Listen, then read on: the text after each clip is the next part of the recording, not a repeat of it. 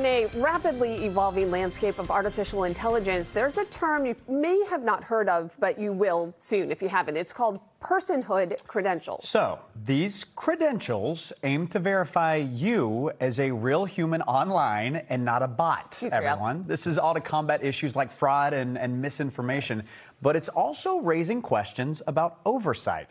I got the chance to head to MIT to explore what the future of human and AI interactions could look like. In today's world, the growing use of artificial intelligence is already creating questions about who or what you're interacting with online. could act on behalf of humans, and that's where everybody's worried. AI is advancing at a breakneck pace. It's getting smarter and faster every year. Now there are growing needs for checks. Nouran Soliman is a graduate student and researcher at MIT specializing in human computer interaction. She explains why we, as humans, may need to start proving our so called personhood and how it works. First, you show up in person physically, so that's something AI cannot do. Uh, and then the other part is you show some verification of your identity, like a passport. And then you get issued a credential. To put the use of AI generated content online into perspective, 90% of online content could be generated by AI by 2025. This highlights the need for verifying identities, but creates new concerns about privacy. We are trying to also think about ways of implementing a system that incorporates personhood credentials in a decentralized way. So it's also important not to have the power in one place.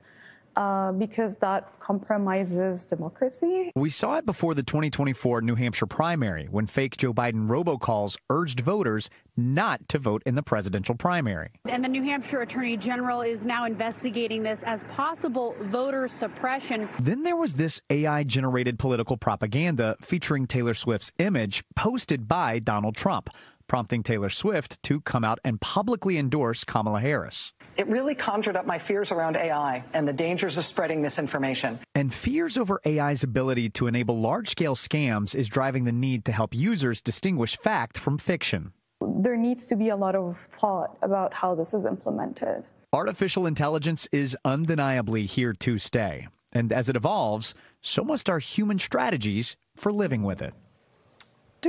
Yes. Okay. I know. Listen, so we asked about a timeline for all of this, right? Like, when could we see these digital credentials implemented in our everyday lives? And Ron said that it could be closer to 10 years from now, that it could be so standard and likened it to sort of the two factor authentication that a lot of us have to use today.